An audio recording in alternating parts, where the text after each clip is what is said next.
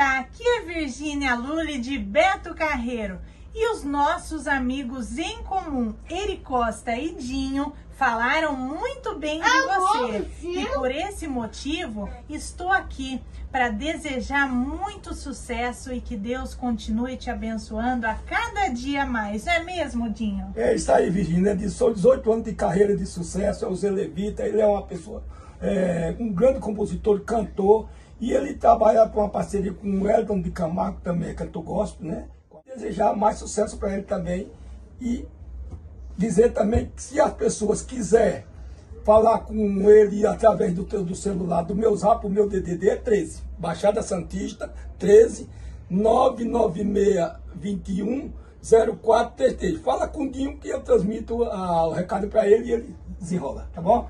Zé Levita, meu abraço e meu carinho. Obrigado por esse carinho maravilhoso que você tem.